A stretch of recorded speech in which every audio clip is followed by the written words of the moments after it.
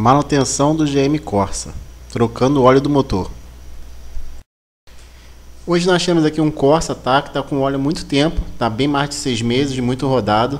O estado do óleo está bem feio. A gente vai trocar aqui e vai mostrar todos os procedimentos de troca. Primeira coisa, é importante que o motor esteja na temperatura ideal de trabalho, ou seja, quente. Um zorro aí, Samuel? Tá, vamos começar afrouxando o filtro de óleo, tá? Esse filtrinho aqui, branquinho aqui, ó. Vou pegar uma chave específica para isso. Na realidade não deveria nem precisar de chave, tá? O aperto do filtro deve ser feito com a mão. Mas como tem alguns mecânicos que apertam demais, então mais ou menos aqui, ó. Essa brecha aqui. O parafuso saber que tá aqui dentro. O parafuso acho que é 17, vou confirmar aqui, tá? Eu soltei aqui o fio da sonda, tá? E tirei o cabo da, da vela para poder facilitar o acesso. Não é nada muito difícil, é só soltar, deixar separado aqui e depois a gente vai colocar de novo.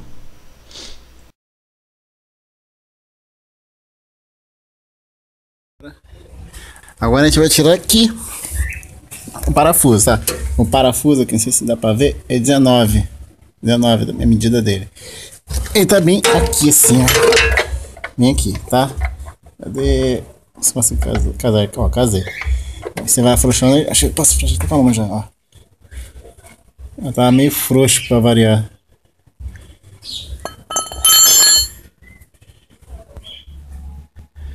Eu fico reparando quando para de pingar, tá? Deixa pingando lá.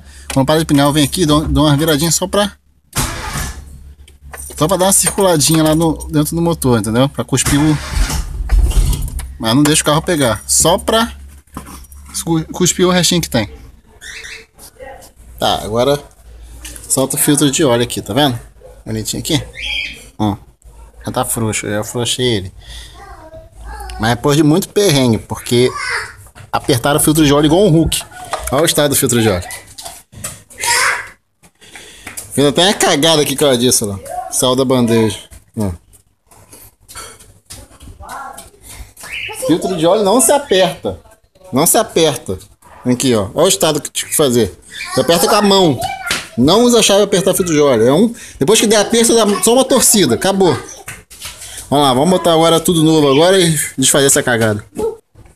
Tá, outra informação importante é o parafusinho do cárter, tá? É bom sempre trocar essa roelinha aqui, então antes de trocar o óleo. Tá? Que ela se assenta quando você aperta, só que depois você tira e bota, nunca fica igual. Tá? É bom trocar. Mas caso não troque, tudo bem, tá vendo aqui ela aqui. Quase não troque, tudo bem. Dê uma limpeza, boa limpeza para tirar as sujeiras que estão aqui e bote de volta. Mas é bom trocar essa roelinha aqui, ó. Vamos lá, apertar. Botar novamente o parafuso. Tá, tá meio ruim de filmar aqui embaixo. Mesma coisa, deu aperto, dá só uma acertada, ó, meia volta é suficiente, não precisa mais do que isso não. Isso aqui não solta. Chegou a hora de colocar o novo óleo no motor. Sempre verifique qual o óleo recomendado para seu motor. E quando eu digo recomendado, não é a marca, tá? É a classificação dele. Como você pode ver essas letrinhas aí e a viscosidade. E como esse carro, o compartimento é para 3 litros e meio de óleo, tá? Eu comprei 4 litros porque eu vou usar 3 litros e meio, tá? E o, só para reforçar, o filtro de óleo, até no filtro de óleo está escrito aperto manual somente, está escrito nele. Você vai apertar, quando der aperto, dá um quarto de volta e tá bom. Quando você ligar o carro, ele dá pressão e não vai soltar, tá? Então a gente vai jogar um pouco de óleo dentro do filtro, tá? É só um pouco, não precisa encher. Vai circular aqui deixar o óleo rodar tudo. Beleza? Feito isso, nós vamos colocar o, óleo no, o filtro de óleo no motor. Aquela ali é arroz, onde vai entrar o filtro, tá? Vamos encaixar ele. Ó, encaixando, é bem simples, só enroscar, tá? É bastante rosca. Ó, começou a dar aperto. Você vai apertando, quando ficar mais firme, ó, você vai dar mais uma torcida. Pronto. Acabou. Não, é não é necessário apertar mais do que isso. Quando o carro ligar, ele já suga, dá pressão e não solta. Agora a gente vai colocar o óleo no motor.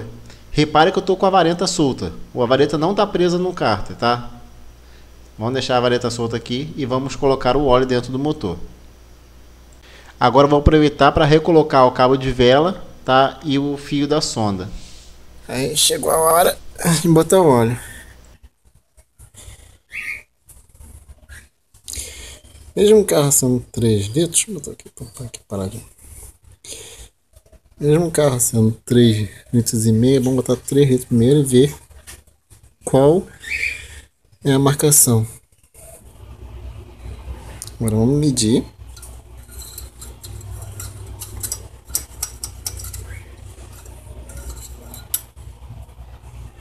Hum. Tá bem clarinha, ó. ó. Tá. Tá bem cheinho porque não liguei o carro ainda, não sumiu o óleo ainda. Mas vamos fazer isso agora.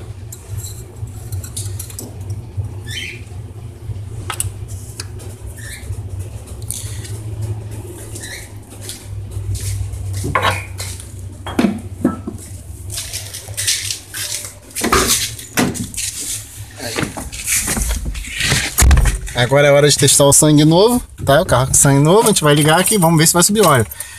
A luz do óleo tá aqui, tá? Não sei se dá pra ver, deixa eu acender a lanterna aqui pra ver.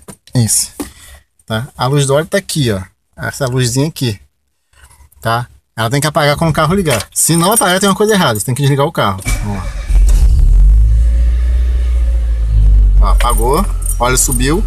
Tá tudo pronto. Óleo trocado. Agora é só verificar se tem algum vazamento, se tem alguma coisa mais lá. Dificilmente tem.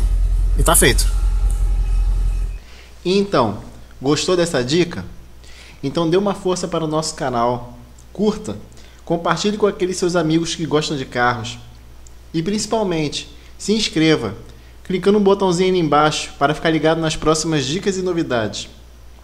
Fazendo isso, você estará nos ajudando a manter o canal sempre atualizado, com novidades para a galera.